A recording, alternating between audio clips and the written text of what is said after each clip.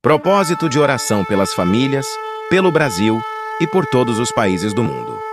Venha participar desse propósito de oração pelas famílias. Te convido a participar desse propósito de oração. Quando os justos governam, alegra-se o povo, mas quando o ímpio domina, o povo geme. Provérbios 29, 2.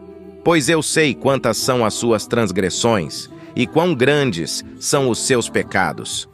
Vocês oprimem o justo, recebem suborno e impedem que se faça justiça ao pobre nos tribunais. Amós 5:12.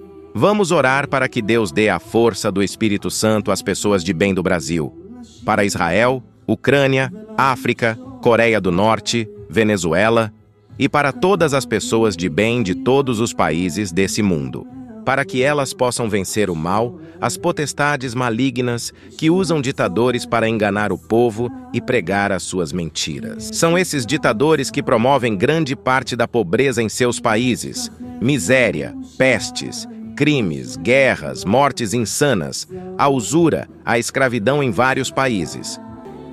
Se o meu povo, que se chama pelo meu nome, se humilhar e orar, buscar a minha face e se afastar dos seus maus caminhos, dos céus o ouvirei, perdoarei o seu pecado e curarei a sua terra. 2 Crônicas 7,14 Horário de oração.